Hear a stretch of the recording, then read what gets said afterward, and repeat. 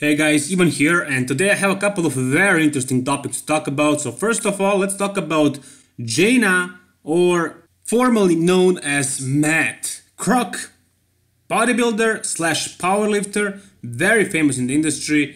Maybe you remember him, or now it is her, and uh, he was a powerlifter, so he invented those Kroc rows, for example, and he was really popular in the industry he was a great bodybuilder and powerlifter as well, very strong, but then he became she. And now this is Janae Kroc, I believe, and I should be referring to her as a woman because she changed her gender. I'm not really sure about these things, I'm not really educated well enough, but I believe this is how it works. So it was he, it was uh, Matt Kroc, and now Matt Kroc decided to change the gender, and now this is Janae Kroc, a woman.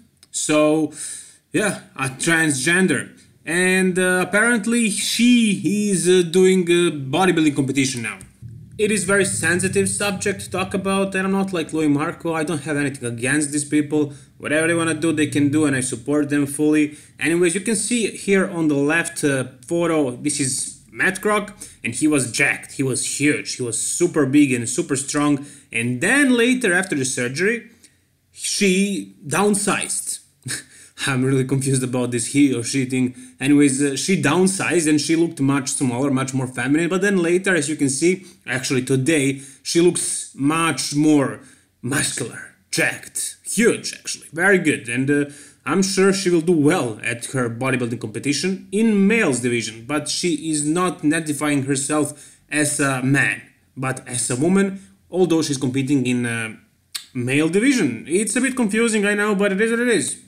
I'm trying to talk calmly about this, but when it happened, I was a huge fan of Matt Kroc. And then when he changed the gender, I was really confused. And it was a couple of years ago, I was even younger, so I didn't understand what the hell was going on. It was really confusing time for me. But it is what it is. We need to try to understand these people because they are what they are and they all deserve to be happy. So, guys, I don't want to see any hate comments down below. Please refrain yourself from doing that. Anyways, let's go to the next topic, and that's Shawn Rhoden your current Mr. Olympia, and you all know what is he going through right now. He's accused of rape. He is battling this uh, at court, and we'll see what happens in the end. But apparently, he is still competing. As he said, he's still preparing for the Mr. Olympia, even though he was banned. So he's probably hoping, I'm sure he talked to the Mr. Olympia organizers. They probably told him that there is a chance of him actually competing. I'm sure he wouldn't be doing this, you know, just for nothing. I'm sure he wouldn't just be risking it. They probably told him if his name is cleared by the time Mr. Olympia comes, if somehow it turns out not to be the case, what this woman is accusing him of, maybe he will actually still be competing. So I'm looking forward to that. I really hope that happens because this Olympia is lacking a lot of good competitors. And if Shawn comes still after this whole drama and controversy, he would not be the greatest representative of the sport. For example, Brandon Curry would be much better for that position. I know, I know politics shouldn't have nothing to do with it, but I guess that's the case. I guess it is because bodybuilding is a business, especially Mr. Olympia, and they don't want their representative to be accused of anything of that sort. So probably even if he shows up, the best case scenario will be second. I don't know if he even has time to actually prepare to look the best on that stage because he will have to look great if he wants to beat guys like Brandon Curry and Roelly Winklaar and William Bonac. And he had a lot on his plate recently, so he's probably not focused perfectly on one goal. All that trouble also required his physical presence, so he probably skipped a few meals here and there, and a couple of shots as well. So I'm sure we're gonna see him not at his best if he somehow manages to compete this year's Mr. Olympia. Anyways, Shawn Rhoden needs your help, as you can see right here. So he's basically calling everybody who was there at that competition when the incident allegedly happened. So if you guys were there, any of you approach him, text him on Instagram or whatever, he needs your help. So help him out if you can. So go to his Instagram account, read the full description of this post and see what it is all about. In the meantime, we can see somebody who is preparing to win the Tampa Pro and maybe even win the Mr. Olympia, and that's your soon to be 50 year old Mr. Olympia 2008, Dexter Jackson. And here you can see his arm, which is looking swollen as hell. Look at the size of that arm, look at the forearm, look at the tricep, the sweep. I mean, this is really full. he looks great, honestly. I mean, based on all we saw so far, all the physique updates, he should surprise us. He should improve his physique. I said it before and I'm gonna say it again. It is not impossible. It wouldn't be too big of a surprise, but the chances are not in his favor exactly. How many 50 year olds have we seen winning the Mr. Olympia so far? No one, not even close. So it would be a huge surprise if we actually see him improved from last year or last couple of years. And if you can even crack like top two, top three, or something like that, that would be crazy. But it wouldn't be too surprising because he surprised us too many times now. And at this point, we know much better than to doubt him. He's one of the greatest bodybuilders of all time, and I'm really looking forward to seeing him in this Tampa Pro and then afterwards at the Mr. Olympia. While we're talking about the older guys potentially surprising us, let's talk about the younger guys doing the same thing. So here you can see Nick Walker. And this guy, this dude, he's 24 years old. He's like only one year older than me. And he has three times more mass than I do. And I train hard as hell. And this guy is an absolute beast. And he didn't turn pro at this show. This was USA's. He looked great for sure, but he didn't really win because this guy on the right, who is probably much older than him, looked a little bit sharper, a little bit better. And in some poses, for example, this one, Nick is absolutely destroying him. I mean, they're not even doing the same pose, but uh, Nick really shows a lot of thickness, a lot of density in this pose, most muscular. His uh, abs are looking very prominent. That's that's strange for a guy of his size. He should have a blown up gut, but he doesn't. His abs are really in check. His legs, very detailed.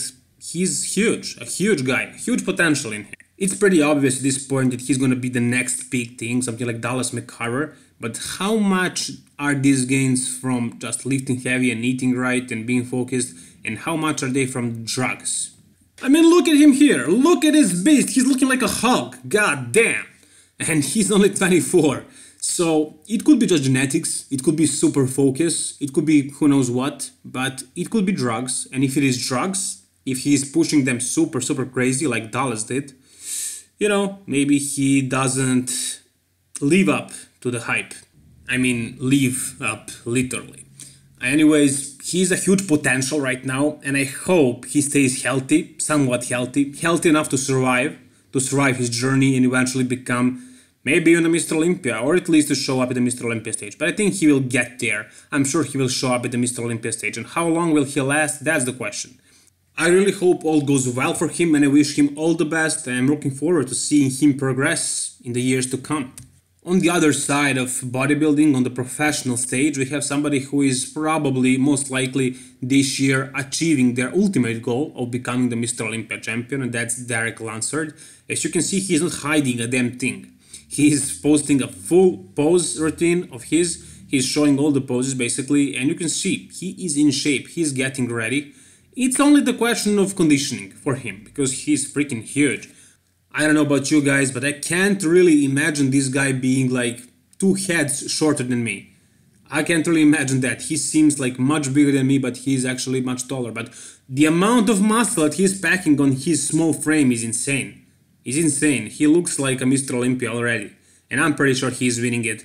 It's pretty obvious at this point. I mean, look at him. Look at the fullness, the, the details, the, the density of his muscles. He's very thick and he's also very mature. If everything goes well as planned, there is pretty much no doubt this guy is winning 2019 Mr. Olympia. The only guy who could upset him would be Hadi Choopan if he gets the visa and if he decides to compete in 212, which is unlikely to happen. So it's pretty obvious this is your 2019 212 Mr. Olympia champion. But before that happens, we have Tampa Pro, and this guy is one of the contenders, Hassan Mostafa.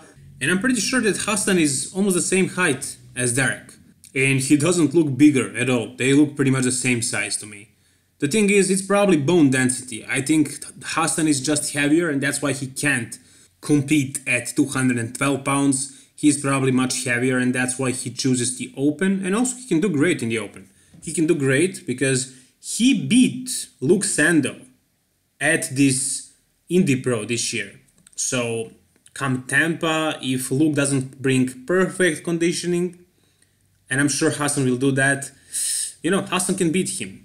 It's gonna be the question if he can beat Dexter though, but we'll see. Depends on Dexter. So this guy can potentially win the Tampa. He's one of the big contenders. And me personally, I really do like his physique. I mean, he is blocky, many people dislike him for that, but look at the, those bellies on his arms, look at the fullness. Look at those legs, first of all. This is the best legs in bodybuilding today, one of the best legs, probably the best actually. Really, I mean, the, the thickness of them is just insane. They're super huge, super huge wheels. And his chest is separated, there, there is a little bit of a gap there, sure, but it's very good chest still, and the arms are freaking full. The lats on him are crazy. I'm really curious what this guy has to bring in the future years to come. And I'm even more curious to see your future Mr. Olympia, Brandon Curry. I'm pretty sure this guy is winning it. I mean, pretty much everybody is seeing that at this point.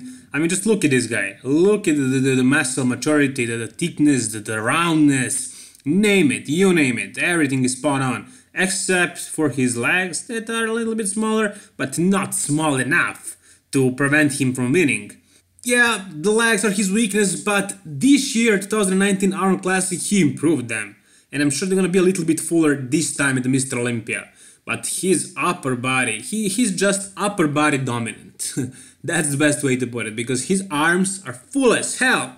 What is wrong with those arms? They're full as hell. His back, third best back of this millennium. Ronnie Coleman, Phil Heath, and then Brandon Curry. I mean, look at him. Look at the, size of this guy, the fullness and everything. This physique really impresses me. I mean, first of all, the fullness of those arms. I mean, me personally, I really like to see big arms. You know what I say, back and legs win the shows, but a good pro has great arms. And if you want to be Mr. Olympia, you need to have great arms. Back and legs are definitely the priority, but if you don't have arms, you will not place as well. The only exception to that would be Dorian Yates, but Dorian's back was a class above the other guys' backs, and the same thing was pretty much with his legs, an overall mess. Today we don't have really exactly that, so you need to have great arms. Every good pro must have them, and Brandon is leading in that regard, and he has probably the best arms today, the fullest, the most aesthetically and pleasingly looking. And also look at those uh, shoulders, look at those lines and striations on them, and the fullness. Really beautiful physique. And the thing that actually sets him apart from all those other bodybuilders is his super tiny small waist. Not a trace of a bubble gut, not a trace. Shawn Rhoden was known for having a small waist, but he had a bit of a bulge in his lower part of the abdomen. That's not the case with Brandon. Brandon's stomach is flat through and through and uh, it is very small and it makes his whole entire physique look even more impressive. And I'm pretty sure this is your 2019 Mr. Olympia and I'm pretty sure he's gonna remain there for quite some time. But that's a big statement, we cannot be sure about this. We'll see. We'll see in a couple of months. Anyways, tell me what you guys think about all these things. Do you think Brandon is your next Mr. Olympia? What do you think about uh, Janae Kroc? What do you think about Dexter? What do you think about Tampa Pro at all? Do you think uh, Nick Walker deserved a pro card?